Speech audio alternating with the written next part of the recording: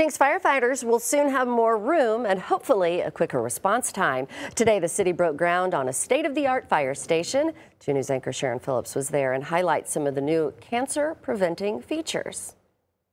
Billy McCauley is a proud member of the Jenks Fire Department. The city currently boasts 21 firefighters and recently received a grant to hire six more after its current academy. Right now, first responders are having to double up in the old station on Main. It's pretty cramped. There's a lot of guys. There's usually about six of us uh, in the station at all times. It gets a little cramped if we have volunteers come in and there's there's not much left room to sleep. During a special groundbreaking Friday, the city showcased these renderings of the new station.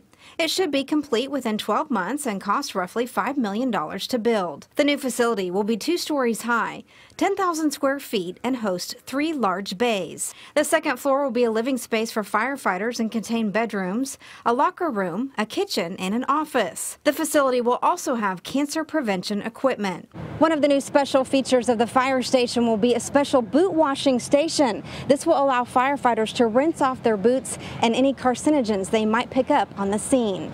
McCauley says the city of Jenks does a great job giving them good equipment, but this new feature will be a game changer. Cleaning our equipment is a big deal because uh, we deal a lot with um, carcinogens in our gear, and we have to make sure that all that's cleaned out because uh, we live with our gear uh, 24 hours at a time. Not only will the firefighters feel safer, but the hope is that city residents will too. This means that we get to continue to be the number one safest city in the state of Oklahoma because we'll have that fast response time that every family wants when you have an emergency situation happen in your home. The city is anticipating an increase in emergency calls with more and more residents moving to Jenks along with more visitors. Sharon Phillips, 2 News Oklahoma.